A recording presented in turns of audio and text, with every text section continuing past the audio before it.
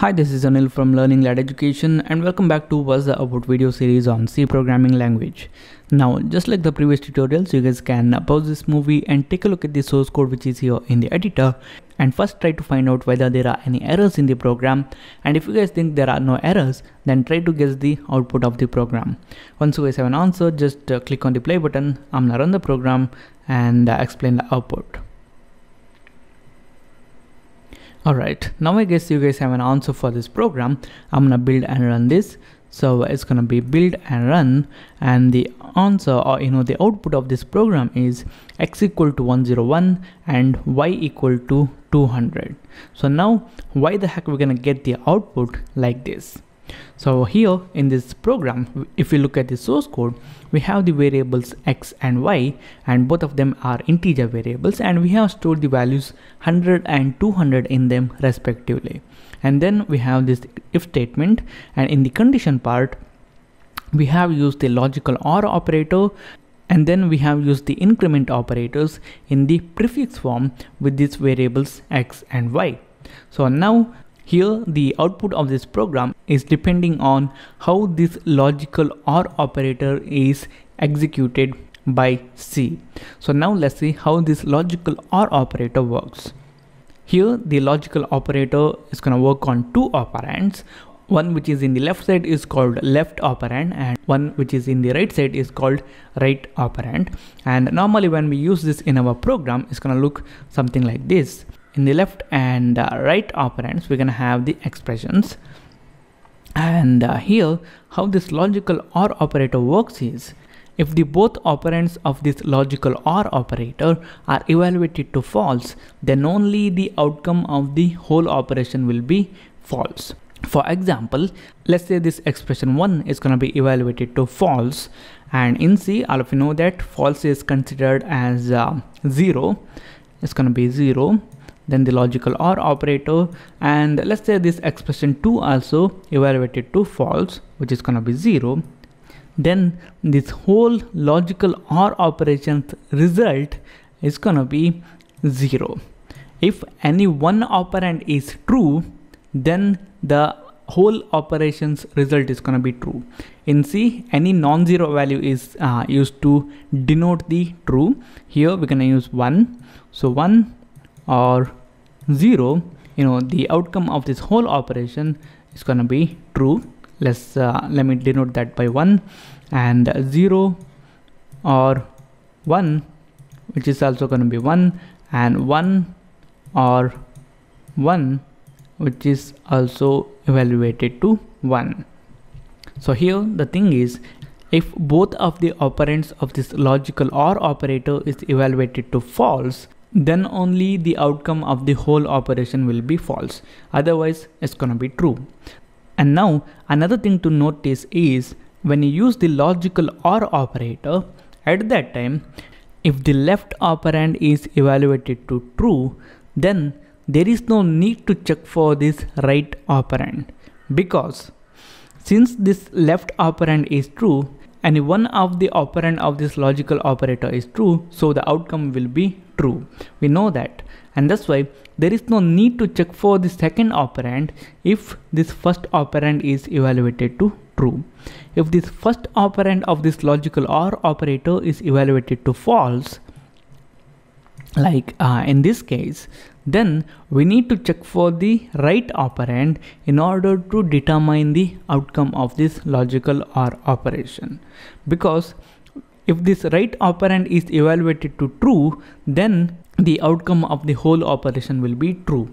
If this right operand is evaluated to false, then the outcome will be false.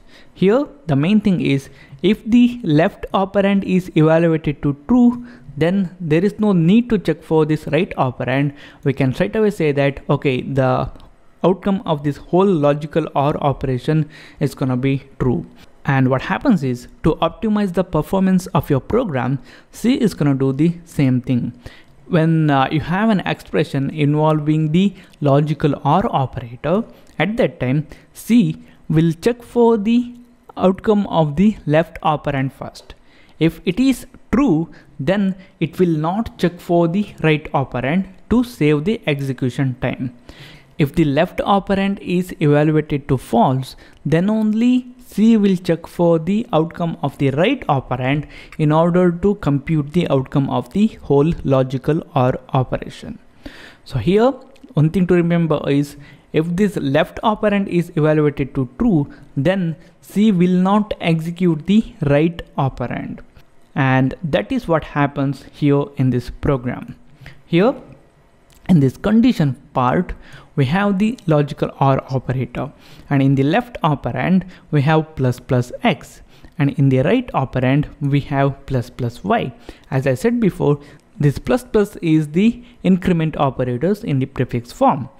And since we have this logical OR operator here, first C will check for the outcome of the left operand. Here we have plus plus x. x is containing a value of 100 and plus plus x is gonna make this 101. This 101 is a non-zero value and it is considered as true. Here the left operand of this logical OR operator is evaluated to true. That means that it doesn't matter what this right operand will be evaluated. The outcome of this whole operation will be true just because this left operand is true. And that's why to save the execution time, C will not check for this right operand and it will not execute this plus plus y it will only execute this plus plus x. And since this left operand's result is true, C straight away says that, okay, the outcome of this whole logical OR operation is true.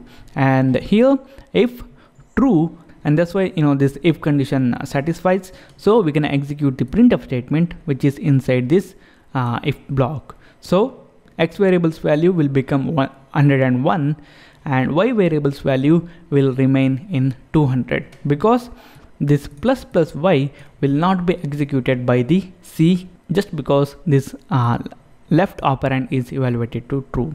And that's why you know we're gonna get x equal to 101 and y equal to 200 if you want to check this you guys can change this x variable's value as minus 1 and uh, then build and run this. And now you guys can see x is 0 and y is 201 that's because here this x is containing minus 1 and because of this logical OR operator C will first execute this plus plus x. Plus plus x is going to increment the value of this x variable so it's going to become 0 in C 0 is considered as false. Since the left operand of this logical OR operator is evaluated to false, it will check for the right operand in order to compute the outcome of this whole logical operation.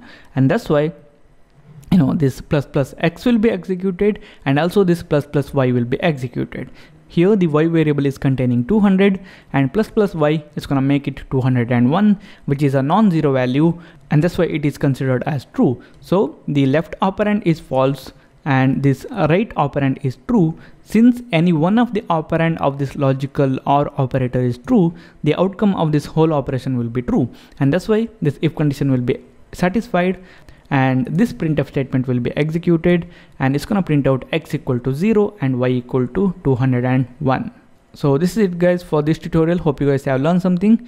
Thank you for watching and uh, i'll see you in the next tutorial